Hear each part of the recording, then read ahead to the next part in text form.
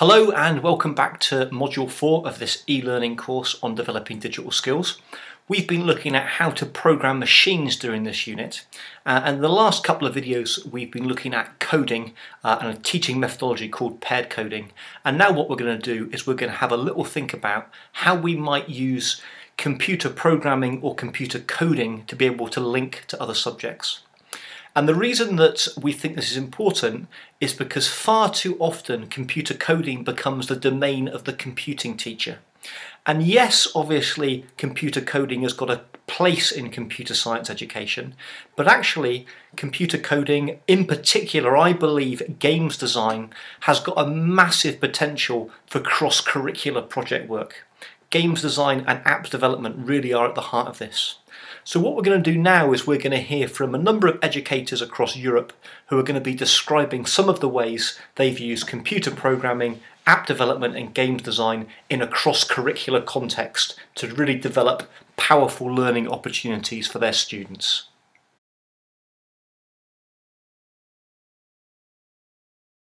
A few years ago we did a combined project with uh, physical education and with multimedia here at the school and it was also combined with an Austrian school.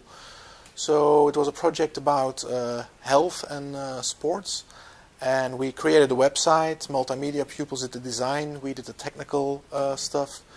The sport activities were done during physical education.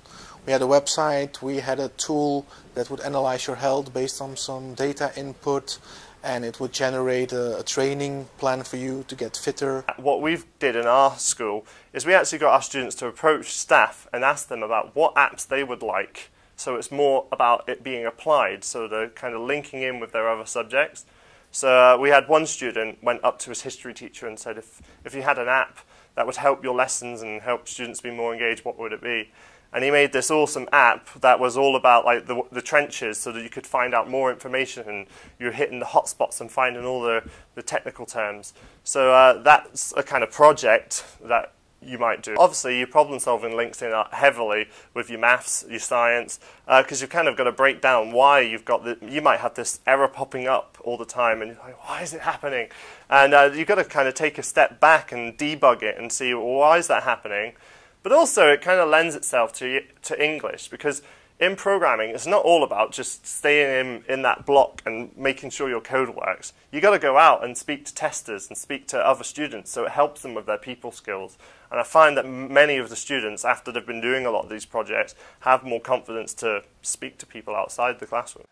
Well, I really hope that you enjoyed seeing some different people talk about how they have used uh, computer programming in a cross-curricular context.